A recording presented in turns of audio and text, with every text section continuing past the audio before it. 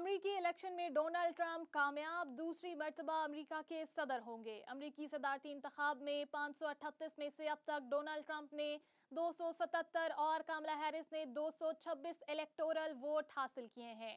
अब तक के नतज के मुताबिक ऐवान नुमाइंदगान में रिपब्लिकन एक और डेमोक्रेटिक्स 160 नशस्तों पर कामयाब हो चुके हैं। अमेरिका की 50 में से 27 रियासतों में डोनाल्ड ट्रंप कामयाब हो गए हैं, जबकि 19 में कामला हैरिस को कामयाबी मिली है।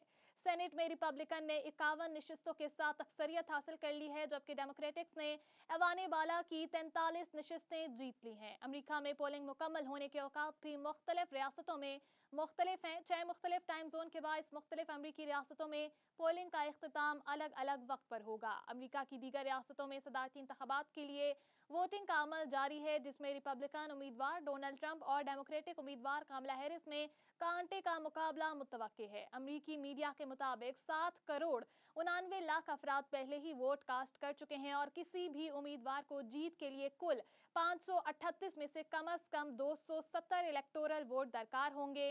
आज होने वाले इंतबात में वोटर्स ऐवान नुमाइंदगान के चार सौ पैंतीस अरकान को मुंतखब करेंगे और ऐवान नुमाइंदगान पर कंट्रोल के लिए दो सौ अठारह सीटें दरकार हैं। अमरीकी सेनेट के सौ में से चौंतीस अरकान का इंतबाब भी आज होगा।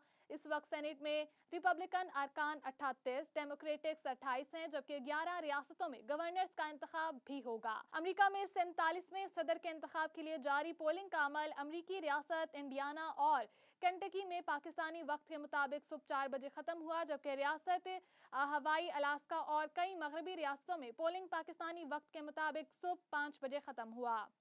इसके अलावा जॉर्जिया और न्यू कैरोलाना में पोलिंग पाकिस्तानी वक्त के मुताबिक सुबह छः से सात बजे के दरमियान ख़त्म हुई।